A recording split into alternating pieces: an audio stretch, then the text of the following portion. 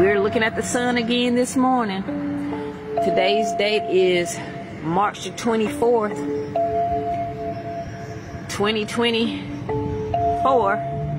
I captured this on March the 20, uh, 20th at 7 a.m. And the time now is almost 8 o'clock. And we have the sun looking like this again.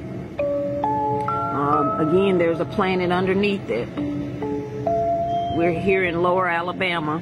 Sorry, guys, trying to zoom in. And it's still pulsating really strongly like it was the other day.